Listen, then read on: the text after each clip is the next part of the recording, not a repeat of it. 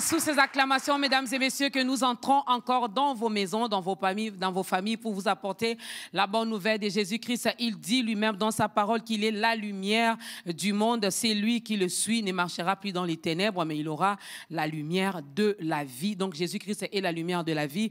Et cette parole qui est une lampe nous aide également à mieux voir les choses, à bien faire la lecture même de la vie pour ne plus trébucher, pour ne plus marcher ni voir comme tout le monde, mais voir selon euh, la vue des dieux, si je peux me permettre de les dire ainsi. Alors à toutes et à tous, shalom et bienvenue dans ce nouveau numéro d'État Grandeur. Un big dédicace également à toutes les personnes qui nous regardent via les réseaux sociaux. Vraiment, votre fidélité nous honore. Nous sommes là encore parce que nous savons que vous, vous êtes là. Et aujourd'hui, l'Éternel va passer encore par l'un de ses serviteurs finalement pour nourrir nos âmes, pour nous faire du bien, mais aussi pour gagner ne fût qu'une seule C'est peut-être ton jour aujourd'hui. Alors je te demanderai d'être attentif, d'être attentif.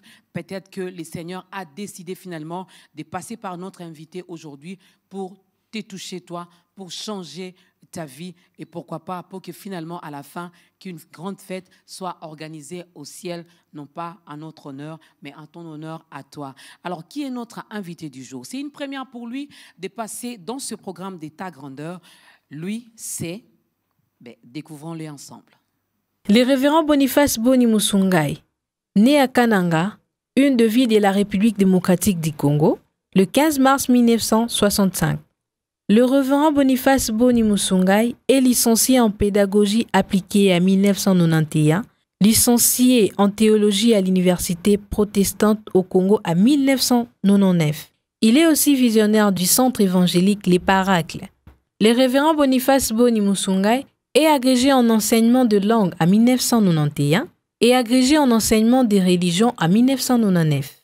Le révérend Boniface Boni Musungai est chercheur en néo-testamentaire, théolinguistique, chargé des cours à la faculté de théologie, conférencier, producteur des émissions radio-télévisées et articles divers sur les événements extrêmes de la vie terrestre.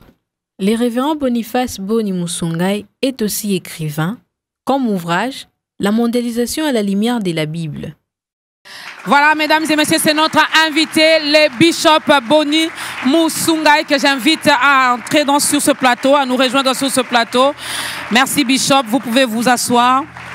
Merci, mettez-vous. Alors, c'est lui notre invité du jour et vous avez vu qu'il a quelque chose euh, euh, entre ses mains. Ben, on parlera également de ça. Si Dieu le permet, bien sûr, on aura le temps d'en de, parler en, un tout petit peu pour vous donner le goût finalement de vous en procurer, mais nous n'en sommes pas encore là. Shalom, Bishop, bienvenue.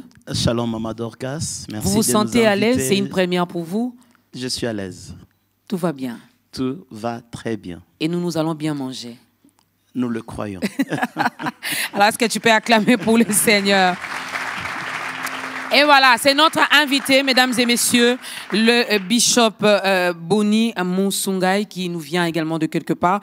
Alors, l'Éternel a, décidé finalement de passer par lui pour euh, nous euh, apporter un plus, pour nourrir nos âmes, pour nous faire du bien, pourquoi pas, pour nous bénir, parce que lorsqu'il nous envoie sa parole comme ça, c'est parce qu'il veut bien opérer quelque chose dans la vie de chacune des personnes qui nous suit en ce moment. Alors, d'entrée des jeux, avant même d'annoncer notre thème d'aujourd'hui, euh, nous voulons bien connaître votre grande histoire d'amour avec Jésus. Elle date de quand? Quand est-ce que cette histoire a commencé? C'était dans quelles circonstances, Bishop? Ah, Merci, Maman Dorcas.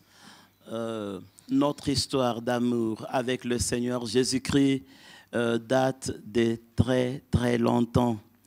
Vers les années 76, 78, il y avait un réveil dans notre pays. Il y avait ce mouvement charismatique, euh, ce mouvement pentecôtiste qui était en train de réveiller nos vieilles églises. C'est mhm. là où je me suis rencontré avec le Seigneur. Mais en 80, quelque chose va se passer. Euh, nous étions dans une veille de prière.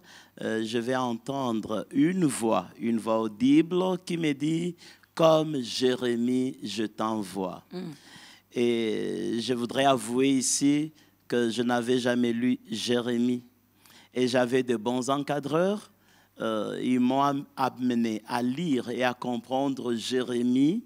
Et c'est depuis 80 que le Seigneur m'a permis d'ouvrir ma bouche et de parler de sa part.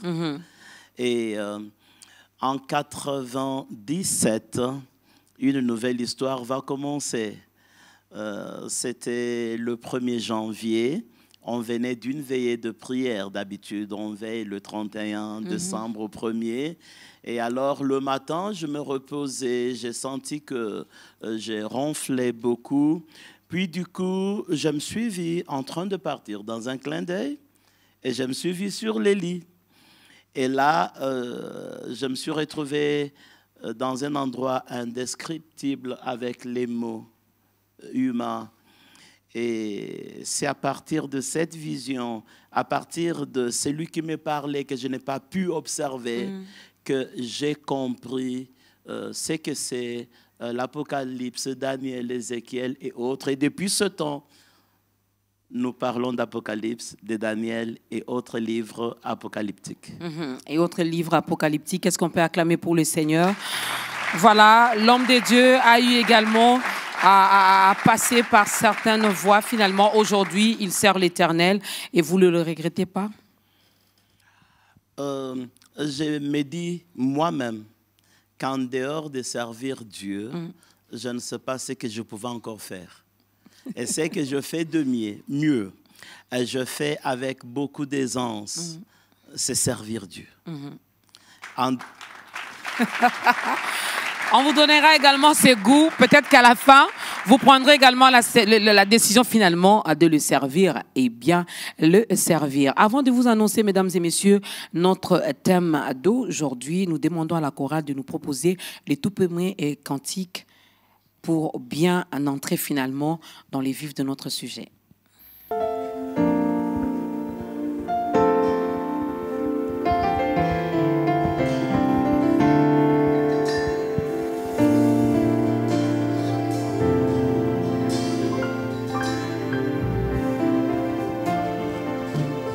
pesi na koma ya yo ya yo eh.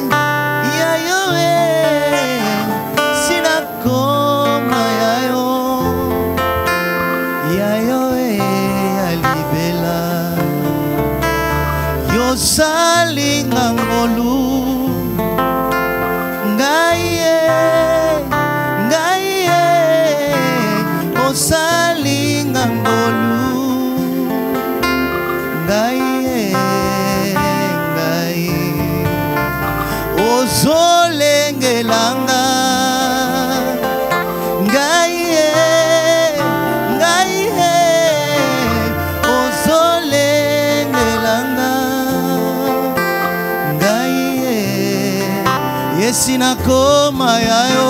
Si nakoma ya yo. Ya yo e ya yo. Eh, esi nakoma ya yo.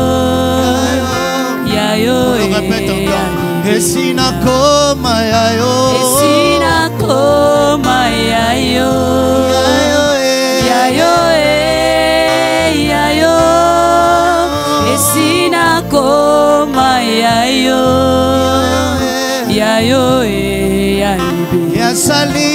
ngolu.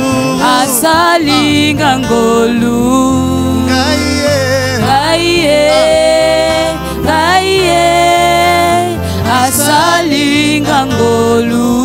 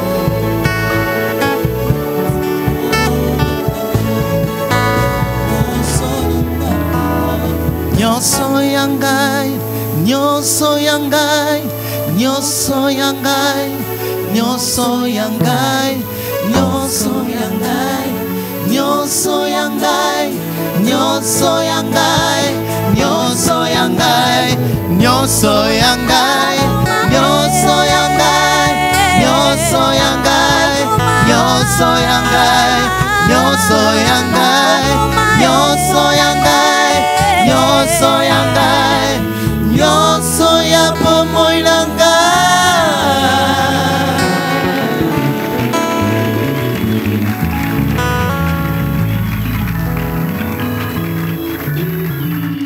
tout, il est notre raison d'être, il est notre raison de vivre, mesdames et messieurs. À toutes et à tous, bienvenue encore dans ce nouveau numéro d'État Grandeur où nous recevons le bishop euh, Boni Monsungai qui nous vient, euh, qui vient nous parler d'un grand thème. Je ne l'avais pas encore annoncé. Donc euh, aujourd'hui, nous allons bien manger autour de la mondialisation à la lumière de la Bible. La Bible qui est donc la parole des dieux. Alors, euh, euh, euh, bishop, J'aimerais bien, avec les téléspectateurs, connaître d'abord votre motivation, ce qui vous a motivé finalement à choisir euh, ces thèmes. Euh, la motivation est simple. Quand nous observons ce qui se passe aujourd'hui, le mariage pour tous, le mariage de gays, quand nous observons les rapports contre nature qui se développent, quand nous voyons les hommes qui se transforment en femmes et les femmes qui se transforment en hommes, quand nous voyons les blocs des idéologues qui autrefois s'opposaient s'unir, nous nous disons, il y a quelque chose qui doit arriver. On est en train de préparer un grand trône, et c'est le trône de l'Antichrist. Et pour réveiller l'Église, pour réveiller les enfants de Dieu, selon qu'il est écrit, réveille-toi, toi qui dors parmi les morts, et Christ t'éclairera, nous avons écrit ces livres. Mhm. Alors, les livres, on aura le temps d'en parler. C'est intitulé également La mondialisation à la lumière de la Bible. Ici, peut-être, on n'aura pas le temps de tout euh, euh, décortiquer, de tout dévoiler ici, mais on vous fixera également un rendez-vous quelque part euh, avec une date bien, bien précise. Alors, comment le révérend, le bishop Boni, explique le mot mondialisation et comment la Bible définit également ces mots? Merci, Maman Dorcas. En deux termes simples, la mondialisation, c'est de faire de ce monde comme un village, sans frontières, ayant une même monnaie, un même gouvernement, une même armée, ayant euh, une même religion, ayant un même chef. Et ce chef-là, c'est l'Antichrist. C'est ça en deux termes simples. C'est cette mouvance qui voudrait que tout soit un, paganisé par l'Antichrist pour dépeupler le paradis, dépeupler l'armée céleste de notre Dieu et faire une armée pleine des infidèles qui tentera de combattre le Seigneur quand il reviendra. Et pour comprendre, si vous allez me le permettre, je voudrais projeter la vie de l'homme sur une ligne. La vie de l'homme est entre deux Adams, le premier Adam et le dernier Adam. Dans 1 Corinthiens 15, 45, Paul dit, par le premier Adam, nous sommes devenus des êtres vivants. Donc je ne suis pas différent d'une bête. Nous nous ressemblons, nous mangeons de la même manière, nous nous reproduisons de la même manière, nous mourons de la même manière et nous nous décomposons de la même manière. Par le dernier Adam, nous sommes devenus des esprits vivifiants. C'est là la différence. Nous devenons comme Dieu sur la terre, tout en étant dans cette chair. Et comme cette vie est entre le premier et le dernier Adam, je tiens à signaler ici qu'il n'y a pas un deuxième et un troisième Adam. Parce qu'il y a euh, euh, de tels enseignements dans la ville.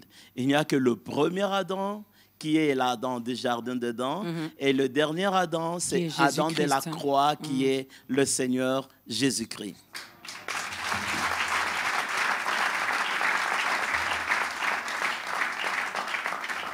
Et dans Genèse 5.5, le premier Adam avait vécu 930 ans.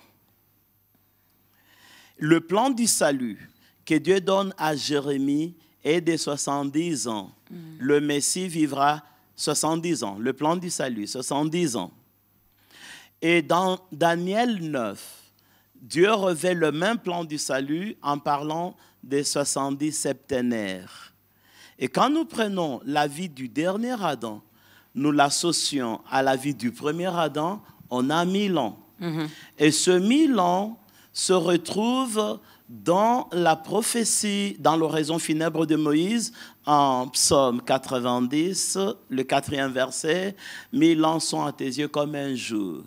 Et 2 Pierre 3, 8 reprend, il dit, à tes yeux, mille ans sont comme un jour, un jour comme mille, Mille ans. ans. Nous nous disons que notre vie est d'un jour. Mais qu'est-ce qui s'est passé? Qu'est-ce qui va se passer?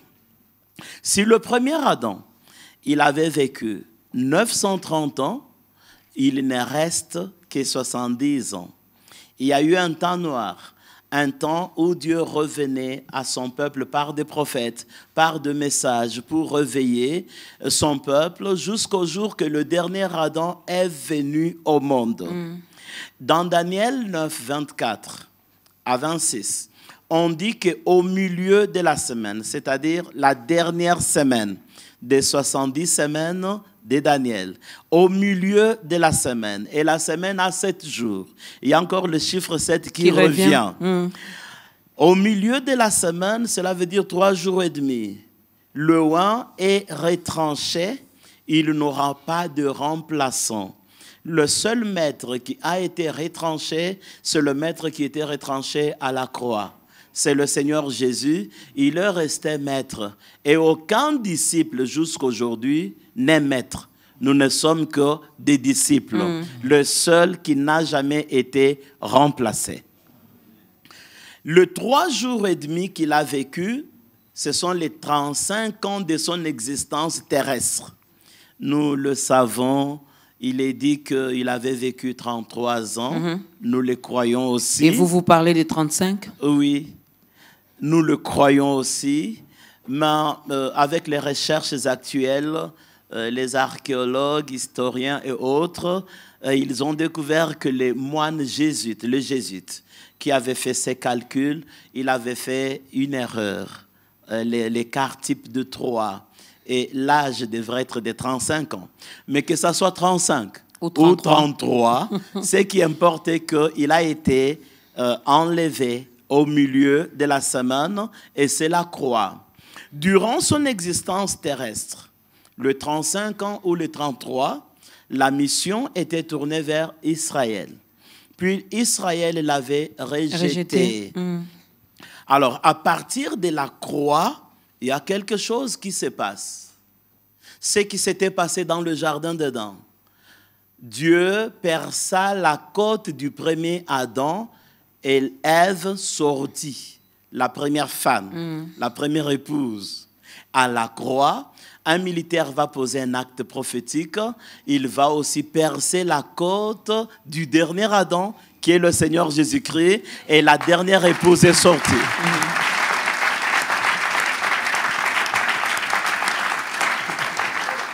Et comme, comme la dernière épouse est sortie, Quand on parle de la dernière épouse, c'est l'église. hein? L'église. Ok. c'est l'église des vainqueurs. C'est cette église qui sera enlevée. Comme la dernière église est sortie, elle, elle ne vivra que trois jours et demi. Si nous prenons les trois jours et demi en des termes euh, millénaires, euh, vous allez comprendre que nous avons déjà bouffé nos deux jours. Nous sommes en 2019 Il nous reste un jour et demi. et il nous reste un jour. Donc, il peut venir n'importe quand. Il peut venir maintenant ou il peut venir après le un jour qui nous reste. C'est ainsi que nous devons racheter le temps car les jours sont mauvais. Très Malgré, mauvais. malgré cette lecture linéaire, malgré tous ces calculs, quelqu'un regardera, dira, ben, on a commencé à nous prêcher ça, j'étais encore petite, hein. J'étais encore petit, ben, maintenant, euh, il revient, il revient, ben, il revient toujours pas. J'y arrive. Euh, quand le chiffre 7, quand nous atteindrons le chiffre 7, c'est-à-dire le 70 ans du Messie, ce qui s'est passé euh, avec le premier Adam se passera avec le dernier Adam. Qu'est-ce qui s'était passé? Dans Genèse 5, 25, on dit Enoch marcha avec Dieu, puis il ne fut plus parce que Dieu l'enleva. Et quand nous lisons Jude 14, il est écrit Enoch le septième. Dans la descendance d'Adam, Enoch est septième quand on enlève la sémence de Caïn. Si la sémence de Caïn est là, il est huitième. Mais dans le plan du salut, Caïn n'existe pas. C'est ainsi qu'on retranche la sémence de Caïn, Enoch le septième. C'est qu'au chiffre 7 aussi, Enoch qui était enlevé le septième, au chiffre 7, l'église épouse Sera aussi Enlevée. enlevée. Mais il y a un problème, parce qu'il y a la sémence de Caïn, qui est le huitième élément. Il y a un problème. Et ce problème est dans l'église. C'est ainsi que euh, dans Ésaïe 4, 1, il est écrit qu'en ce temps-là, sept femmes se saisiront un homme, elles lui diront, nous allons nous vêtir nous-mêmes, nous allons manger notre pain nous-mêmes, Oui, laissez-nous seulement porter ton nom Mm. pour enlever notre opprobre. En fait, c'est ce qui se passe. Dans Apocalypse 2 et 3, on nous parle de cette église. Ce sont ces sept femmes. Vous voyez que le Seigneur fait des reproches. C'est cette sémence de Caïn qui tente de séduire l'église. Mais dans ces sept églises, le Seigneur se prépare un corps. C'est ça l'église des vainqueurs? C'est celle-là qui sera enlevée. Alors, parce que vous avez dit qu'on a toujours parlé de ces choses, Dieu se révèle de deux façons. Il y a le chronos et il y a le kairos. Le chronos, c'est le temps historique lié à l'homme. Nous pouvons compter 1, 2, 3. Comme nous avons compté euh, 930 ans du premier Adam. Maintenant, c'est le kairos. Le kairos, tout est où? Le temps de la révélation des dieux, le temps de la révélation ultime des dieux, le temps de l'intervention ultime des dieux. C'est ce temps. on ne le compte plus un, deux, trois, mais on le compte selon la dispensation, selon euh, le temps que Dieu se révèle. Et il se révèle maintenant en train de nous dire, faites attention, les jours sont mauvais, je reviens bientôt. Et il va certainement Revenir. revenir, bientôt. Mhm. Alors, euh, que- que- comment, comment devons-nous nous comporter finalement? Là, je suis euh, euh, face, en tant que chrétienne, en tant que chrétien, face à cette mondialisation, face à toutes ces choses qui se préparent ou qui s'annoncent déjà. Quelle doit être l'attitude d'un enfant de Dieu de nos jours? L'enfant de Dieu doit être réveillé, mais pour réveiller, il doit connaître. Connaître Dieu pour mieux le faire connaître. Ok. Et qu'est-ce que l'enfant de Dieu doit connaître? Une fois que l'Église est enlevée, l'Antichrist viendra régner sur toute la terre avec son gouvernement. C'est cela ce que nous appelons la mondialisation ou encore euh, globalization chez les anglophones. Et quand il viendra régner sur toute la terre, l'Église enlevée, le sang enlevé, il n'y aura plus le sang de Jésus sur scène, le Saint-Esprit enlevé aussi, il n'y a que l'Israël qui sera épargné. Parce que l'Israël va construire son troisième temple. C'est ce qu'on appelle le temple de gloire. En fait, madame, quand vous verrez le troisième temple construit en Israël, Jérusalem libérée, retenez que soit il est déjà venu, l'Église est partie, ou il vient dans ces instants-là. Et c'est un grand signe prophétique. Alors, quand euh, euh, euh, l'Antichrist viendra, il viendra avec la marque de la bête. Personne ne pourra ni vendre ni acheter sans avoir cette marque-là. Il va paganiser le monde. Comment l'enfant de Dieu doit-il se comporter? L'enfant de Dieu doit comprendre que le diable vient en agneau pour séduire maintenant, mais demain, il sera un roi impudent, il régnera par le fer. Et en agneau pour séduire, qu'est-ce qu'il utilise, madame? Il utilise ce qui se trouve sur euh, mon livre. Il y a l'argent. Voilà, sur ce livre, euh, j'ai dessiné un monsieur. En fait, ce dessin explique tout mon livre. Ben, le monsieur, il n'est pas beau à voir. Hein? Exactement, ce roi impudent, l'antichrist, il, il sera insupportable parce qu'il régnera par le fer. Vous pouvez voir dans sa tête, il y a le map monde. Le diable va incarner le monde. Il aura tout le monde, toute notre planète sous son contrôle. C'est la première des choses. La deuxième, il a un petit sac dans sa main. Dans sa main et c'est là où on met l'or. Quand nous regardons les films, le western, il y a toujours un petit sac, on met des pièces d'argent, on met de l'or. C'est qu'il va utiliser la richesse. Il va utiliser l'argent. Vous voyez les billets de banque. Il y a les billets que nous avons représentés, une monnaie forte que nous avons représentée là-bas. Il va utiliser ces billets pour séduire. Mais il a aussi ferm- fer- fermé le point. Il Ouais. est prêt pour se battre. Ok. Il est prêt pour se battre. Donc il ne vient pas seulement pour euh, euh, flatter, caresser, mais il vient détruire. Mais il est où? Il est sur les livres. C'est que le diable va dominer la religion du livre. Toutes les religions qui ont eu la révélation euh, à partir d'un livre.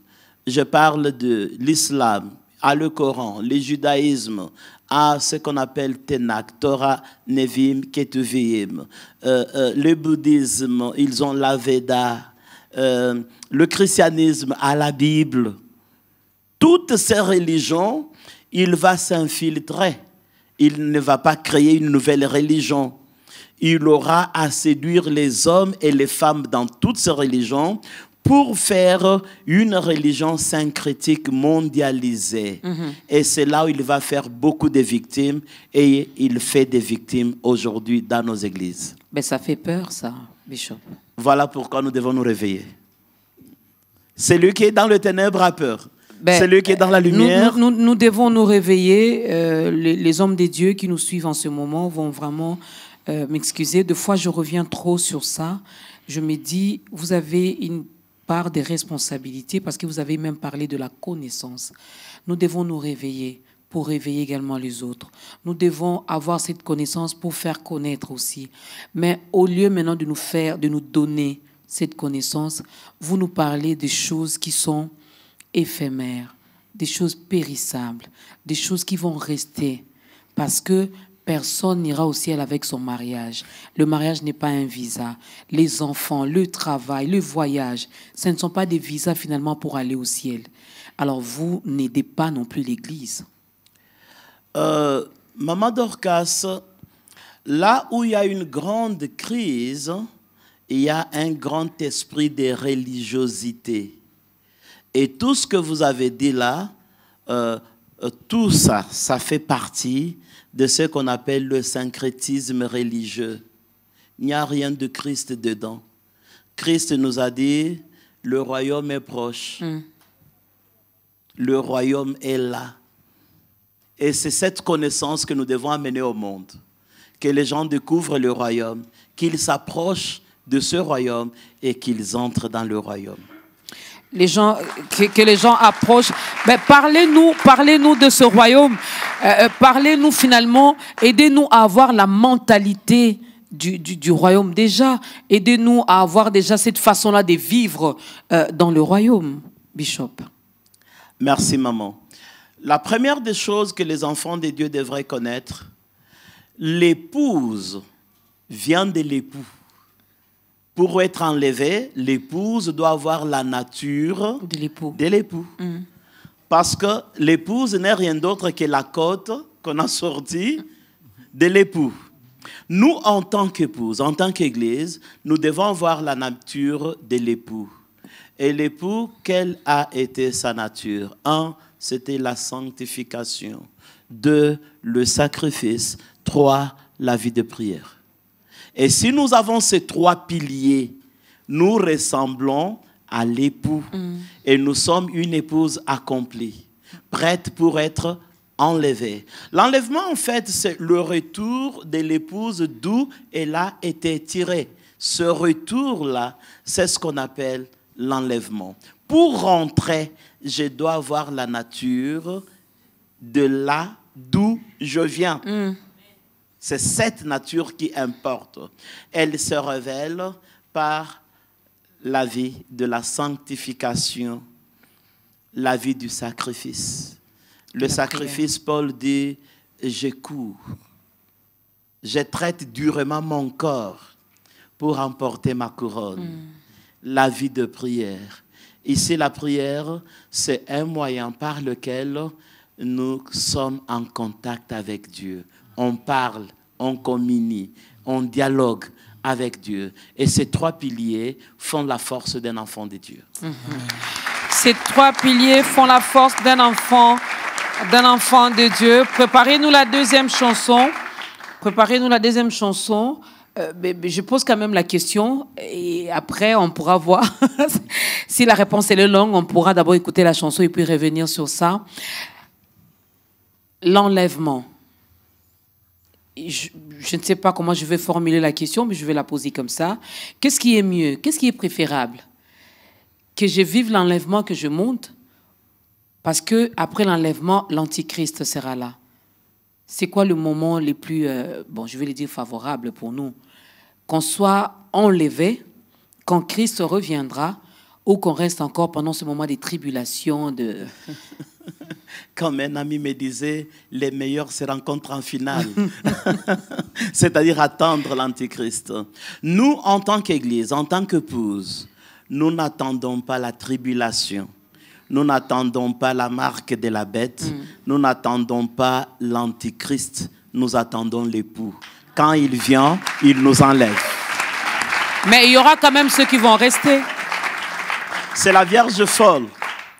Matthieu a déjà décrit toute cette situation. Il y avait dix vierges. Elles avaient toutes des lampes et des lampes qui s'allumaient. En fait, maman Dorcas, l'en- l'enlèvement ne concerne que les chrétiens. Ok. ne concerne pas les musulmans, les bouddhistes, les kimbanguistes et tous mes frères là, ils ne sont pas concernés. Maintenant, nous ne parlons que de nous, chrétiens. Mais la question dont je pose, c'est par rapport à nous. Ok. Maintenant, parmi Parce que je nous- serais quand même convaincu que parmi nous, il y aura quand même qui vont rester. Beaucoup. Beaucoup resteront. Hmm. L'enlèvement, c'est une sélection dans la sélection. Matthieu définit très bien cette histoire. Il y avait dix vierges, dix vierges. Toutes avaient des lampes et des lampes allumées. Elles avaient la parole, elles avaient la révélation de la parole, elles avaient le Saint-Esprit. Mais arrivé tard dans la nuit, elles se soupirent, comme Matthieu dit, et elles se sont endormies. Les lampes se sont éteintes. C'est cette période. Puis il y a eu le message de l'aigle, le son de la trompette. Voici le pouls. Elles se réveillent toutes. C'est ce que nous sommes en train de faire. Nous nous réveillons toutes, les vierges, nous les vierges. Et quand elles se réveillent toutes, cinq sages ont en réserve l'huile, leurs lampes s'allument. Cinq folles n'ont pas d'huile en réserve, elles restent. Les cinq entrent dans la joie avec l'époux, les cinq folles restent. Quand nous serons enlevés, certains de nos frères, on dit bien vierges, c'est-à-dire on marchait dans la pureté de vie, mais on manquait juste la lumière, la révélation de cette parole. Ils resteront, beaucoup resteront. Et ceux qui seront restés sur la terre, ces vierges folles, parce qu'elles ont la parole, elles découvriront que le monsieur là n'est pas le Messie, c'est l'Antichrist. Parce qu'elles ont la parole, elles vont s'opposer. Ce sont ces vierges qui seront martyrisées. Et ce sont ces vierges-là qui payeront de leur sang pour être sauvées. Mais nous, nous sommes sauvés par le, sang, de, Jésus, qui est encore sur scène. Alors, le temps ne nous appartient pas, mesdames et messieurs, comme le bishop l'a dit. Ben, il peut revenir là, maintenant, pendant que cette émission est en train de- de se passer. Alors, nous devons toujours nous préparer, nous devons toujours être prêts. Parce que lui ne dépend pas du temps, mais le temps dépend de lui. Alors, puisque toi et moi, nous ne sommes pas le maître du temps, faisons attention. Place à la deuxième chanson.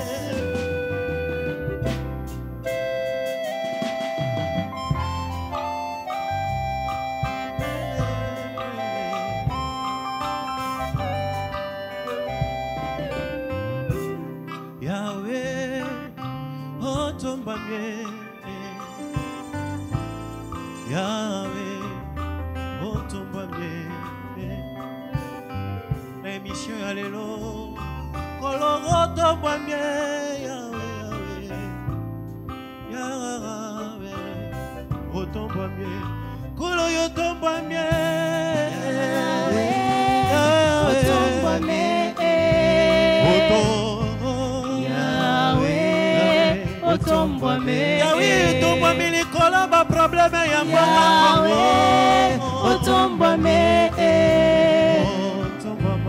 yawe otombame eloto ekoloba eh. yo otombame yawe otombame eh.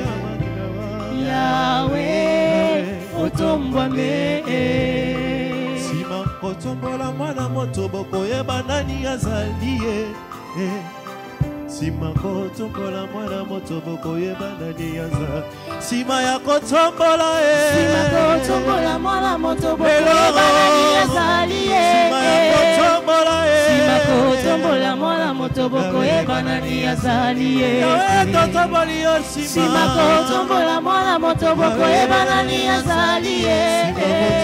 nsima sima kotombola mwana moto bokoyeba nani azali ye sima kotombola mwana moto bokoyeba nani azali ye nsima kotombola kolo sima ye kotombola mwana moto bokoyeba nani azali ye sima kotombola mwana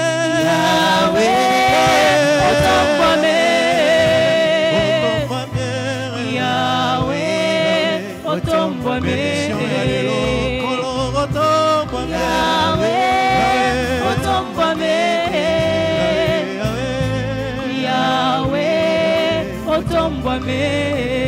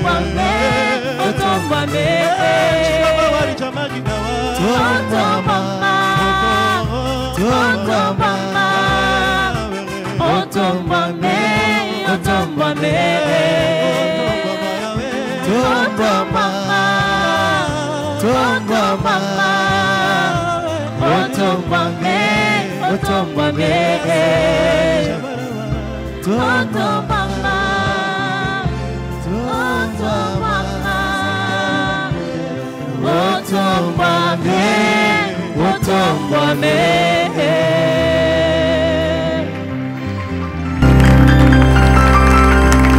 Soit élevé, qu'il soit élevé, son nom, il a reçu un nom qui est au-dessus de tout nom.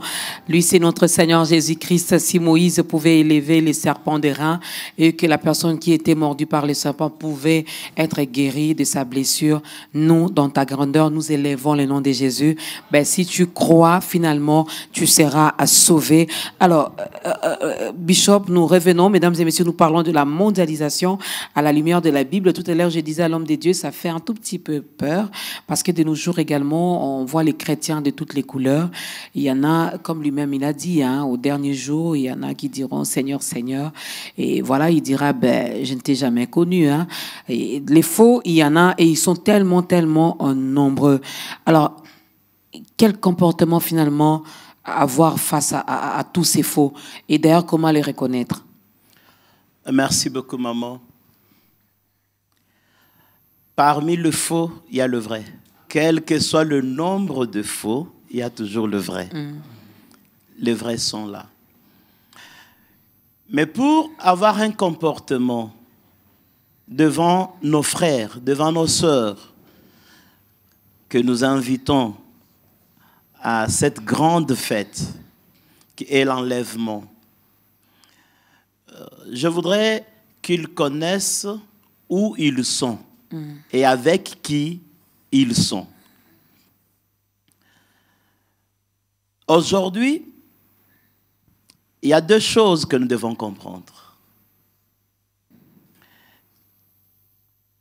Les amis qui sont dans l'école ésotérique parlent de l'âge du verseau, c'est-à-dire l'âge de la connaissance. Et le diable a fait beaucoup de victimes par cette connaissance, il y a toujours la face cachée, la, face ésotérique de la connaissance. Et beaucoup d'intellectuels sont partis là. Et ils parlent aussi de l'âge du poisson. Ils disent, nous sommes dépassés, nous chrétiens, parce que nous, nous appartenons à l'âge du poisson. Selon eux, l'âge du poisson, c'est l'âge de la foi. Et veux dire que la foi n'est pas dépassée, parce que la dimension transcendantale de la foi, c'est l'immanence de Dieu. Celui qui a une grande foi, il est beaucoup plus proche de Dieu. Revenons à la connaissance. Une bonne chose. Mais cette connaissance doit être éclairée. Si elle n'est pas éclairée, le diable imite tout ce que Dieu fait. Dieu agit sur cette terre par deux lignées. Lignée royale et lignée de sacerdoce. Quand un roi comme Saoul a, a- a seulement franchi la frontière pour offrir le sacrifice, Dieu l'a frappé parce qu'il n'appartenait pas au sacerdoce. Le seul qui a incarné le deux, c'est le Seigneur Jésus-Christ. Voilà pourquoi il est sacerdoce selon il est euh, prêtre selon l'ordre de Melchisédek. Le diable a imité ça. Le diable agit par deux voies. C'est qu'on appelle sentier de droite et sentier de gauche. Sentier de droite, c'est la magie blanche qui a pour objectif faire le bien. Et j'ai développé ça dans ce dans livre. Sentier de gauche, c'est la magie noire qui a pour objectif faire le mal. Et beaucoup d'enfants de Dieu se retrouvent dans le sentier de droite parce qu'on parle du bien. Il y a un grand sataniste, euh, Aton. C'est un grand sataniste. Il se moque des enfants de Dieu. Ils disent qu'il n'y a que les satanistes qui savent en qui ils ont cru. Parce que que ce soit le sentier de gauche, que ce soit le sentier De de, droite, la source, c'est le diable. Et je vais euh, demander aux enfants de Dieu, n'importe quelle connaissance doit être éclairée par la Bible. Voilà pourquoi même cette mondialisation, nous l'éclairons par rapport à, À la, la Bible. Bible. N'importe quelle connaissance que vous pouvez avoir dans une école ésotérique, que ce soit le IAM, que ce soit la Rose-Croix, que ce soit le franc-maçon, que ce soit les yoga chrétiens, que ce soit l'école martinique, j'en passe. Il y en a plusieurs. Toutes ces connaissances appartiennent au sentier de droite, à la magie blanche. Et ça ne peut qu'amener l'homme à sa perdition. Et parce que nous le savons, nous savons que les sentiers de droite et les sentiers de gauche, vous voyez, même les politiciens, ils sont fiers. C'est pour cela que même les politiciens doivent lire ces livres. Non, j'invite les politiciens à lire, pas doivent. Je les invite à lire. je les invite à lire. Même les politiciens. Parce qu'ils disent publiquement, nous sommes de gauche, nous sommes de droite. Être de gauche, c'est le sentier de gauche. Ils sont avec Hitler, Rodolphe Hitler, qui est même le type de l'Antichrist. Parce qu'il était de gauche. Bon, et peut-être ils les disent pas sur le plan spirituel. Hein. Euh, ce que je dis ici, ce n'est pas sur le plan spirituel, c'est la vie. C'est-à-dire et la politique, et la spiritualité. C'est ce que je suis en train de dire maintenant. Parce que ça concerne la vie de l'homme. Et Hitler était de gauche. Alors ceux qui disent nous sommes de gauche, le type même de l'Antichrist que nous avons connu sur la terre, c'est Hitler. Et ceux qui disent qu'ils sont de droite, hein, ils sont avec Roosevelt, avec Churchill. Ce sont les tenants de la magie blanche. Donc même les politiciens, ils doivent réfléchir. C'est ainsi que ce livre, c'est la lumière. Et pour la politique, et pour les religieux, même pour les économistes. Même pour les, voilà pourquoi j'avais même euh, prévu de poser cette question finalement. Quelles sont les réponses Quelles sont les réponses que, que la Bible apporte finalement à- à- à- au monde actuel? Puisque nous devons toujours nous référer euh, de la Bible. Voilà ce que le monde est devenu. Le monde est devenu un dans la diversité. Statut de, Daniel 2. Un dans la diversité. Nous pouvons nous retrouver la mondialisation dans le football. Quand il y a le mondial, tout le monde va là-bas. Nous avons la mondialisation sur nos cartes bancaires. Vous pouvez avoir votre carte bancaire ici, payer l'hôtel à Washington et je ne sais pas où moi.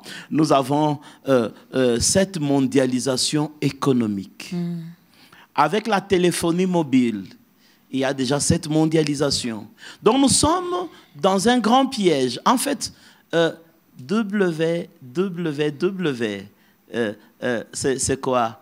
World Wide Web, qui veut dire seulement le grand filet. Donc le, dia- le diable a jeté le grand filet, l'Internet. Et on se retrouve dedans. Nous, tout le monde est dedans, sauf ceux qui ont l'esprit de Dieu.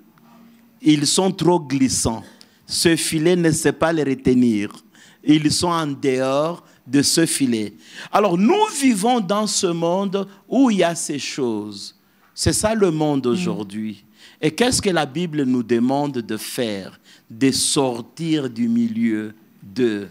Sortir ne veut pas dire nous allons vivre sur l'autre planète. Mais nous devons rester attachés à Christ. Notre foi en Christ. Euh, illuminée par le Saint-Esprit et non par les grands maîtres. Parce que ce sont les grands maîtres qui font beaucoup de victimes maintenant. Illuminés par le Christ et non par un avatar. Il y a des gens qui disent nous sommes l'incarnation de Melchisedec. Ils sont dans cette ville, madame, dans la ville de Kinshasa. Incarnation de Melchisedec, incarnation de ceci et de cela. Ce sont des avatars. Ils n'ont pas la lumière à nous donner, mais nous nous recevons la lumière du Saint-Esprit. Amen. Tout en étant dans ce monde, illuminé par Christ, ayant le Saint-Esprit, nous sommes dans le monde, mais nous ne, Nous ne sommes pas du monde. Mais c'est la Bible qui le dit, nous sommes dans ce monde, mais nous ne sommes pas euh, du monde, nous ne sommes pas de ce monde, mesdames et messieurs. Comprenons que nous sommes juste des passagers, juste de pèlerins. Alors en tant qu'enfants de Dieu, en tant que disciples de Jésus, nous devons avoir le comportement du royaume. Hmm? Baleki Nzela. Alors, j'ai vu quelque part dans les livres, vous parlez même, avant de, faire l'appel, vous parlez même de euh, l'écuménisme. C'est quoi ça? De nos jours, on en parle tellement beaucoup aussi. Oikoumene. L'écuménisme veut dire seulement la terre habitée. C'est ça la mondialisation. Nous, nous avons évolué à partir du groupe des religions, les religions qui se regroupaient. Et ici, je parle des religions syncrétiques. Et le groupe des religions finiront par s'unir pour ne faire qu'une religion mondialisée. C'est cette religion qui sera chapeautée par le faux prophète. C'est ça l'écuménisme. C'est-à-dire, nous sommes ensemble à la table de l'écuménisme, mais personne ne touche à la foi de l'autre. Celui qui invoque le diable est là, qu'il invoque le diable. Celui qui invoque les esprits de ses ancêtres est là, qu'il invoque les esprits de ses ancêtres. Celui qui invoque les anges aussi est là, laissez-le invoquer les anges. Finalement, ces mélanges-là, il n'y aura pas... euh, Statue de Daniel. Alors, une puissance viendra du ciel, détruira cette statue, et cette puissance fera une grande montagne. C'est le Seigneur Jésus-Christ.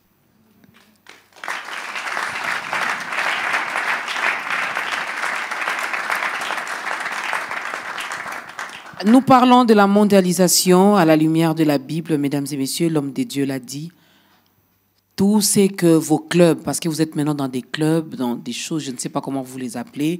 euh, nous, c'est la famille telle, nous, c'est les clubs tels, nous, c'est. euh, si ça va à l'encontre de la parole de Dieu, méfiez-vous. Méfiez-vous. Il y a beaucoup de faux, mais l'homme de Dieu a confirmé que le vrai existe aussi. Vraiment que le Saint-Esprit nous aide finalement pour arriver à discerner le, le- le- le vrai du faux. C'est important en ce temps. Le dernier chapitre de l'enseignement de notre Seigneur Jésus-Christ concerne le Saint-Esprit.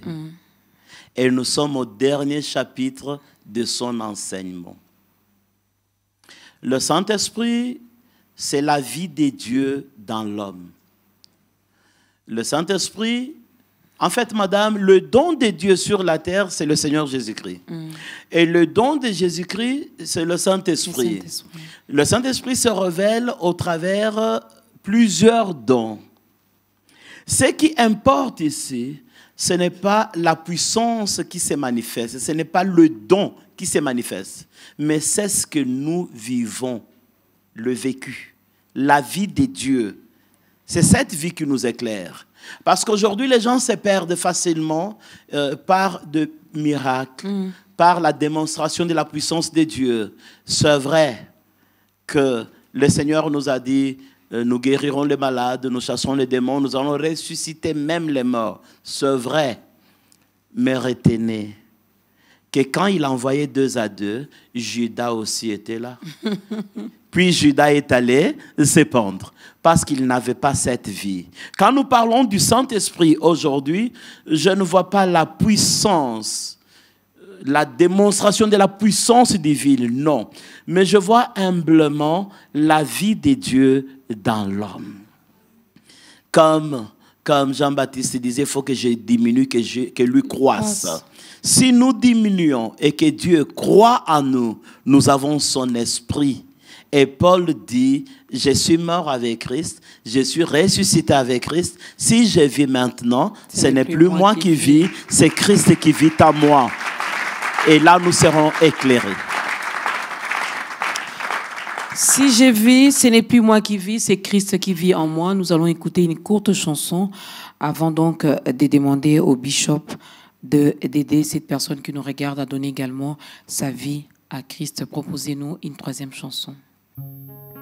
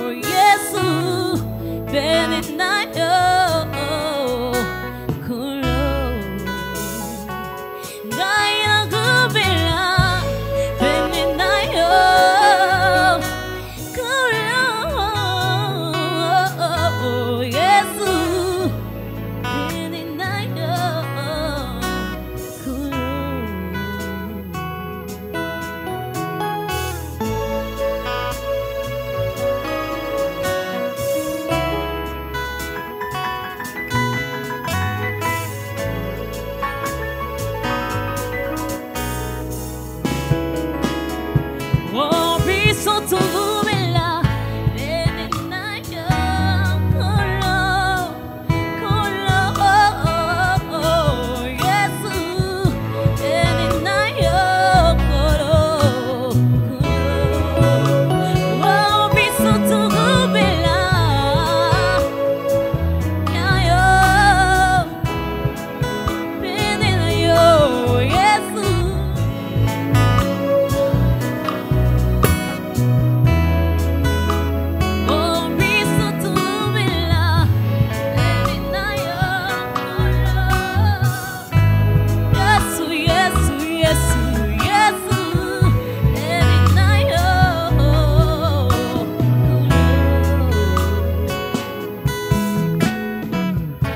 Ensemble avec des séraphins sans frein, nous chantons ces refrains. Nous disons que tu es trois fois saint, parce qu'en toi il y a la suffisance, la plénitude et l'accomplissement de la sainteté. Nous voulons juste demeurer près de toi, là où jaillit cette sainteté, où nous atteignons la dimension de la divinité, où de nous sorte la chaleur de ce que tu es, là où la foi devient contagieuse et incurable et les surnaturels devient un vécu quotidien. Les seuls endroits où les comment et les pourquoi sont éclairés. Par intimité, pour moi, tu n'auras plus rien à cacher. Ta pensée et ton secret me seront dévoilés. Et l'ainsi dit l'Éternel ne va jamais cesser. Ne va jamais cesser. Je préfère cette vie du dedans et non du dehors. Pendant que les autres dehors sont en train de mourir. Et moi, dans ta présence, je suis là pour mûrir. Nalingi nazala na yokolo. Parce que bato baloba balelanga fort. Balelisanga pe fort. Ils m'ont causé du tort, mais en toi j'ai trouvé mon réconfort. Pene na yokolo. La soupe c'est tarissable. Yo. Je veux bien rester Oui, je viens bien dans les rester. lieux très saints, passer des heures et des jours. Passer des heures et des jours. Même si le temps devient nuageux et tressant, tressant. Oui, près de toi, je m'oublie et j'oublie mon parcours.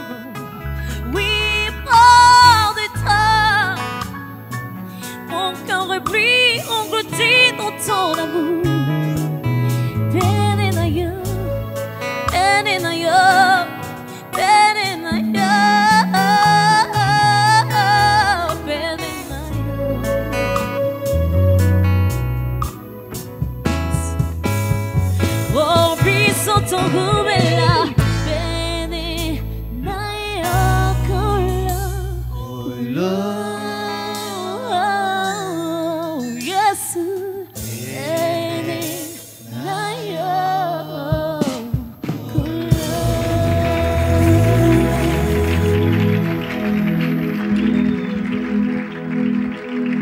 De toi, nous voulons demeurer dans ta présence. Nous ne sommes plus du dehors, nous sommes euh, de la maison, nous sommes les enfants de Dieu. Alors nous voulons également te donner euh, l'occasion finalement de l'accepter en tant que Seigneur et Sauveur personnel de ta vie, que tu ne sois plus du dehors, mais désormais que tu trouves également ta place au sein de cette grande famille des enfants de Dieu. Voilà pourquoi nous demandons à notre invité, le euh, bishop de- d'aider cette personne qui nous regarde à donner également sa vie à Christ. Mon frère, ma soeur, il se pourrait que vous ayez perdu votre boussole. On vous a entraîné dans des lectures ésotériques, dans des connaissances occultes. Il se pourrait que vous n'avez jamais fait une expérience avec l'occultisme, mais vous-même, vous savez que vous êtes loin des dieux. Il se pourrait aussi que maintenant même que je vous parle, vous ne savez pas où est-ce que vous irez quand le Seigneur aura repris l'esprit, son esprit qui est en vous maintenant, et que votre corps sera retourné dans la poussière d'où il a été tiré. je voudrais aujourd'hui vous dire, le seul qui était mort et qui est ressuscité, c'est le Seigneur Jésus-Christ. Tous les autres sont dans leur tombe. Ils sont dans la poussière. Mais le Seigneur vit. Le seul qui donne la vie. Et il peut te donner la vie maintenant. Quel que soit ton rang, quel que soit votre rang. Le seul Jésus-Christ est capable de vous donner la vie éternelle. Je vous invite un petit moment, là où vous êtes, à rentrer en vous-même et à dire avec moi, Seigneur Jésus-Christ, je te donne ma vie. Viens et trône dans ma vie comme le grand roi et que mon passé passe. Seigneur Jésus-Christ, merci de m'accepter dans cette grande famille des enfants de Dieu. Je t'appartiens. Je suis à toi. Purifie-moi dans ton sang. Remplis-moi de ton esprit, de ta vie, et que j'ai la vie éternelle. Amen. Si vous avez fait cette prière avec moi, je vous exhorte à vous approcher d'une église chrétienne, là où le nom de Dieu est cité et non le nom d'un homme, mais le nom de Dieu. Là où Jésus est sur le trône, Jésus-Christ sur le trône, approchez-vous de cette église pour que vous soyez nourris, que vous puissiez grandir. Et au dernier jour, nous nous retrouverons dans la gloire de notre Père. Que Dieu vous bénisse.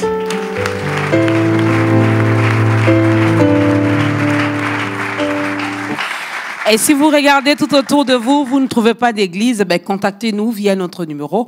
On pourra toutefois vous orienter vers une église chrétienne où seul Jésus-Christ est roi, où seul le nom de Jésus-Christ est donc élevé. Alors, nous avons les livres. Moi, j'ai les livres entre mes mains la mondialisation à la lumière de la Bible. L'homme de Dieu n'est pas sorti en dehors de la Bible, donc euh, il y a des références bibliques également qui sont dedans. Alors vous pouvez également euh, vous en procurer. Euh, Bishop, comment faire finalement pour avoir ces livres?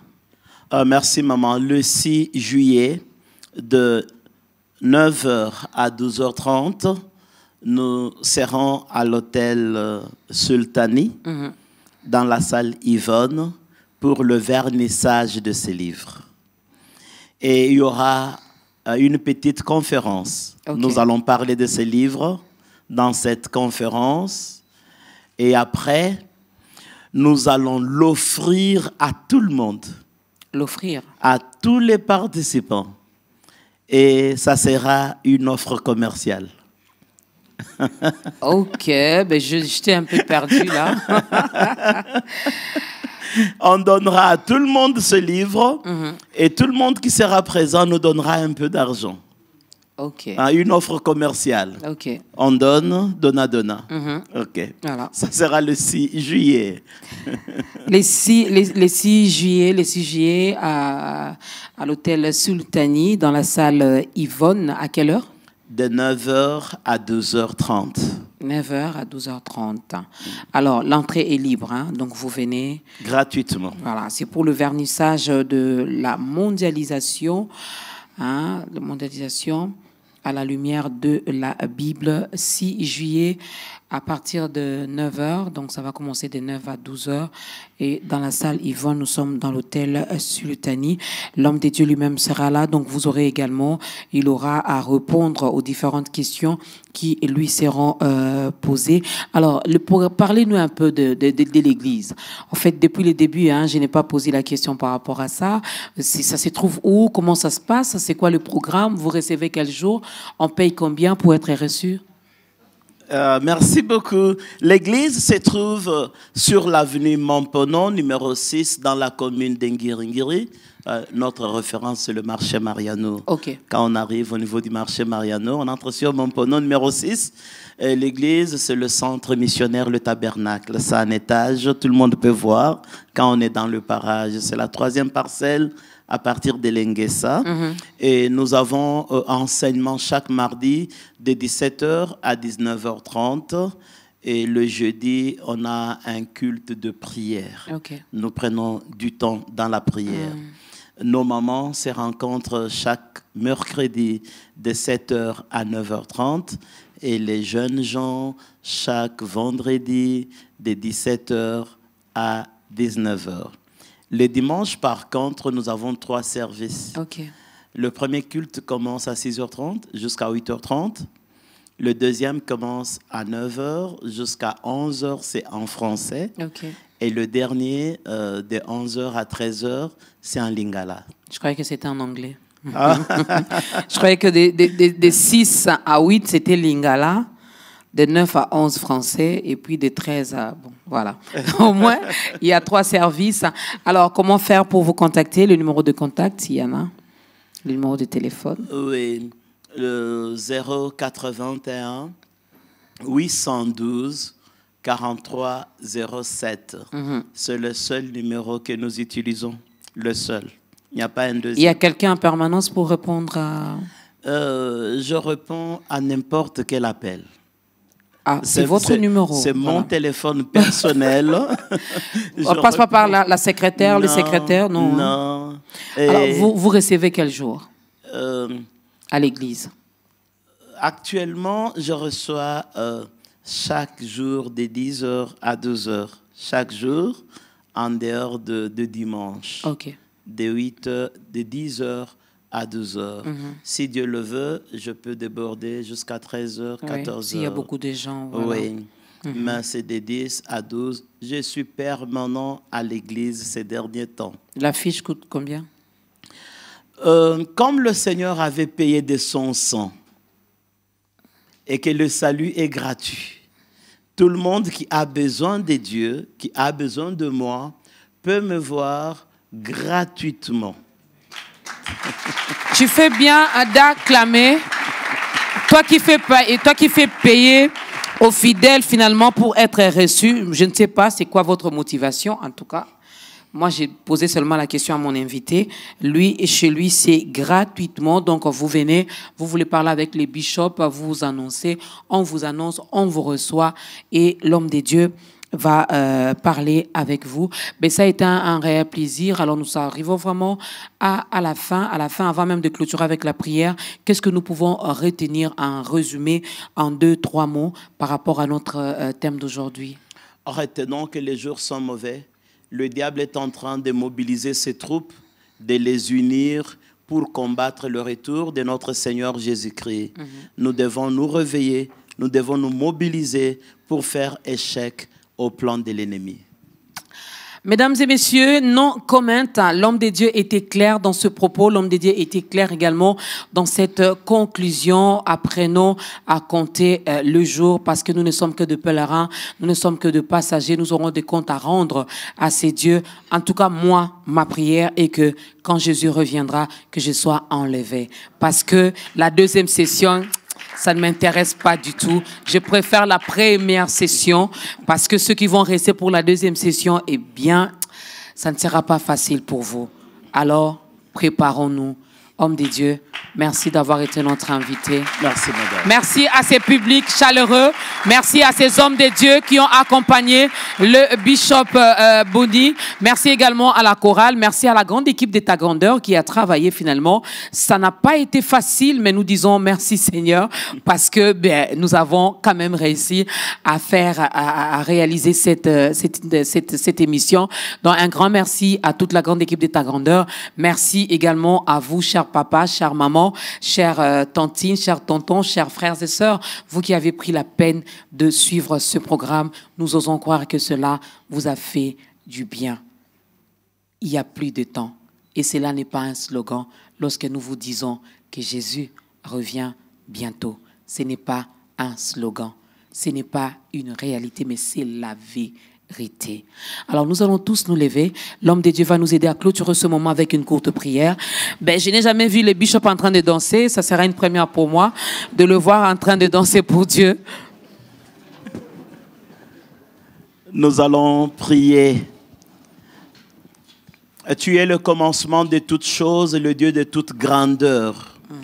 Toi qui sièges dans le lieu très haut, tu as commencé avec nous et tu viens de finir cette émission. Mais la vie de cette émission doit continuer, Seigneur. Bénis tes serviteurs, bénis ta servante qui se sacrifie pour cette émission et bénis tous tes enfants qui passeront sur ce plateau. Que ta gloire éclate et que nous ne soyons que des serviteurs. Au nom de Jésus-Christ. Amen. Amen.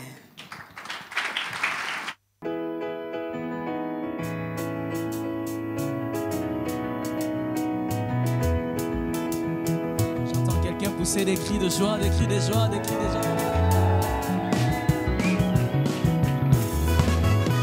Jésus a tout payé. Il a payé. Jésus a tout payé. Il a payé. Jésus a tout payé. Il a payé. Jésus a tout payé. Il a payé. Je veux chanter, je veux chanter. Oh,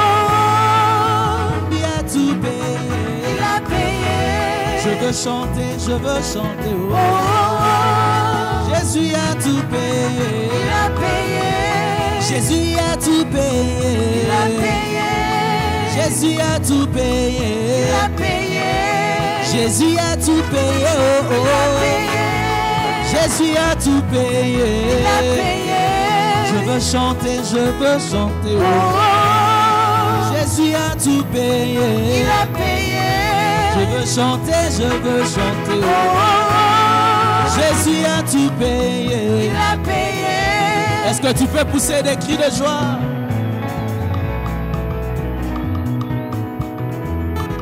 Oh, Jésus a tout payé. Il a payé. Jésus a tout payé. Il a payé.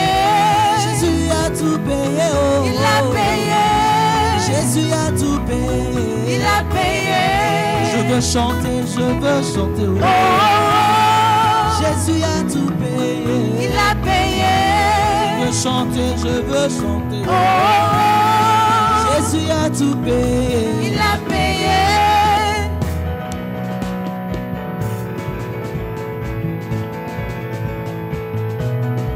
Oh, il a tout accompli. Il a tout accompli. Tout accompli.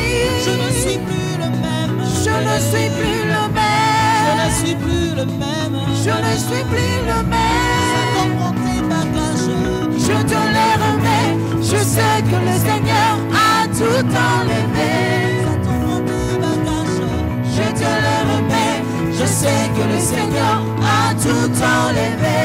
Il a payé ma dette. Il a payé